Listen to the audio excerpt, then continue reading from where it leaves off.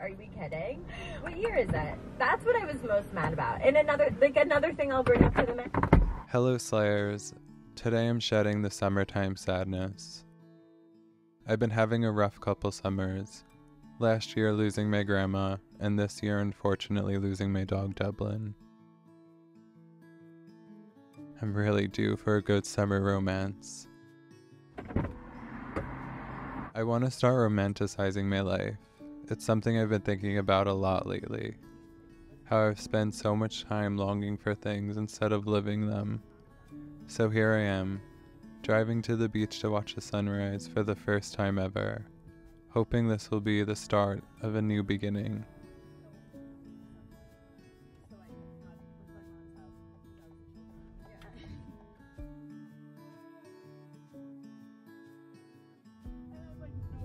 Lately, I've been feeling really lonely and disconnected.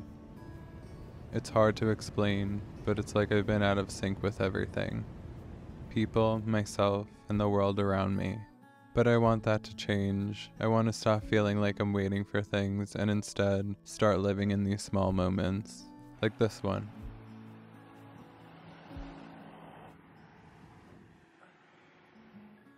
There's so much beauty in just being present. Until this happens. Wait for it. I actually thought this ran over my towel and camera and everything. Which is why I react the way I do. And then casually turn around when I realize.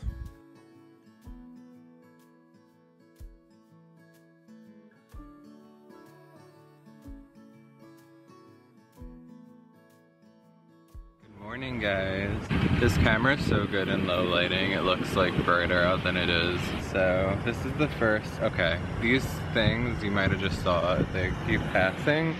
They're ginormous but those things are so annoying, killing my vibe. I'm living a vibe right now, and those things are killing it. Woke up at before 6 today. I was just talking to my aunt, she said it's a good time to look at the sunset, the sunrise, because it doesn't rise that early during this time of the year.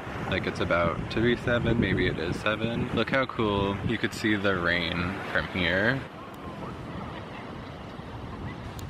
That and that is rain in the distance. I really hope it doesn't rain. I'm really mad at myself because I forgot to bring my earphones. I'm gonna just chill out, watch the sunrise, listen to my book I'm listening to to get me in the mood. I'm definitely not in a witchy setting, I guess, but I'm listening to Hocus Pocus 2. I'm inspired to write, I mean, not write, well, that too, but I'm inspired to make a whole video about how they can make Hocus Pocus 3. I don't want to say better than the first one, it's a working title, but better than the second. Not that I'm a full on hater of the second, I guess, but yeah, I'm just gonna chill out, listen to the book, watch the sunrise. Yeah, vibe out.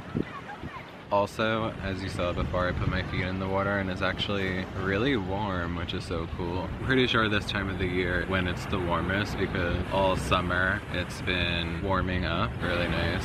And I just also realized this, today is the first day of fall and it's kind of cool like this is what I'm doing.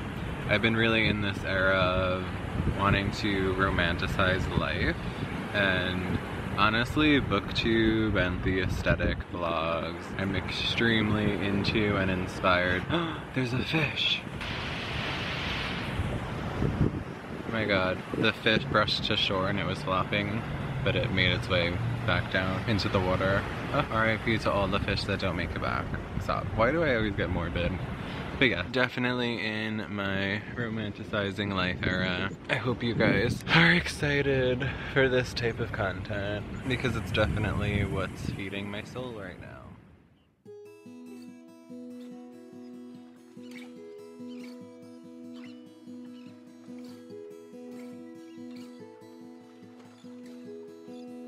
I want to start living fully in the present, starting with moments like this watching the sunrise and letting it be a symbol for a new chapter in my life.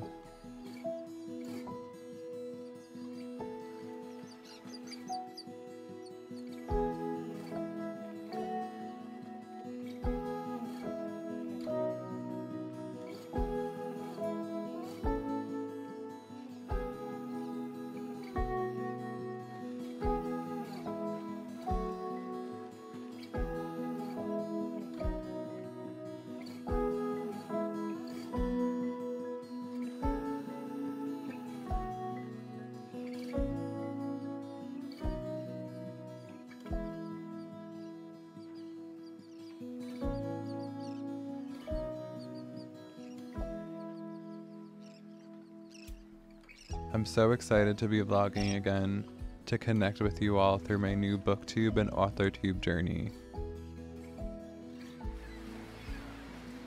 It's not just about sharing my love for books, audiobooks, storytelling, but about sharing my life, my growth, and hopefully building those connections I've been missing.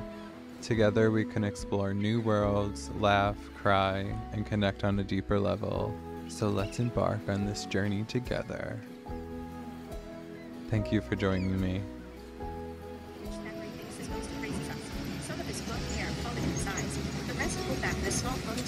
Emily stands beside him, smiling sweetly.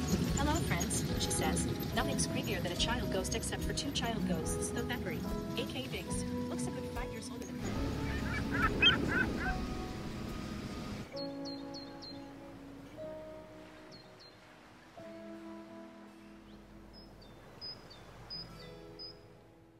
Okay, bitches, let's turn this shit the fuck up. Get in, losers, we're going fall shopping. I just got this beautiful Lincoln hand me down for my mother. So excited. She upgraded to an Escalade. Look out, baby. Here I am approaching on this basic autumn day at Bath and Body Works.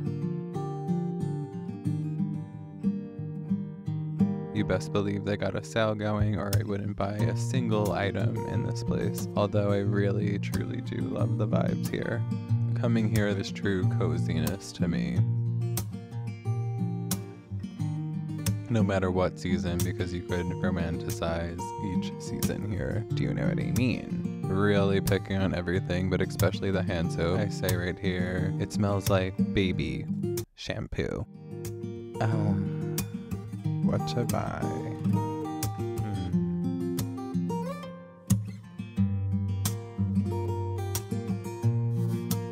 She loves the airtime, that lady. You better believe I have a code. Cozy trip successful. Next up, Cold Stone. But I'm on a diet, so I'm going with a smoothie today. First smoothie here. This girl was a true joy, and by true joy, I'm completely lying. Thank you, bitch. Daniel doing a great job filming here. Alright, then I'm off to a little. Okay, babe. Slay! Okay, here I just picked up a couple things. Um, I really wanted to go hard, but I already spent all my money in Bath and Body Works. But this is the moment of the vlog right now. Meet Nelly Ween. Nelly Ween.